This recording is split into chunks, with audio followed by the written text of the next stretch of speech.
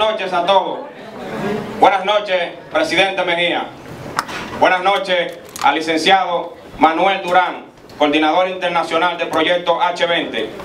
Buenas noches, José Peralta Plasencia, decano del equipo H20 en el estado de Nueva York.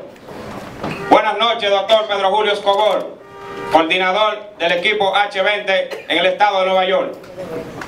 El Comando Nacional de la Juventud, el cual dirige el compañero José Julio Gómez, nos instruyó que la campaña comienza de la siguiente manera.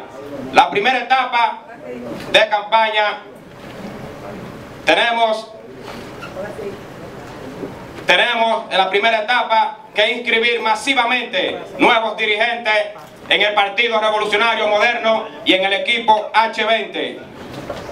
Porque en diciembre la juventud del presidente Hipólito Mejía tiene una meta de inscribir 50 mil jóvenes, lo cual no será difícil.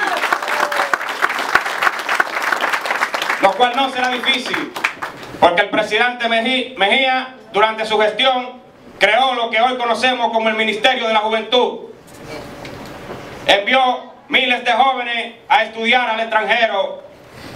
Envió miles de jóvenes a estudiar al extranjero en diferentes áreas. Construyó los multiusos para darle acceso a los jóvenes al deporte. Por esa razón y muchas más, los jóvenes de la ciudad de Nueva York nos comprometemos a trabajar arduamente para que el presidente Mejía regrese al Palacio Nacional.